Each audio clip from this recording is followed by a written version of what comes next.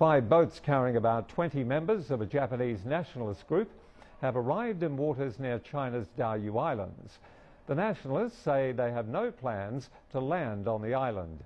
They all belong to a Japanese group called the Ganbare Nippon, meaning Stand Firm Japan. The group also visited the Yasukuni Shrine on August the 16th. Last August, 150 members of the group entered the Diaoyu waters, with five of them stepping foot on the island.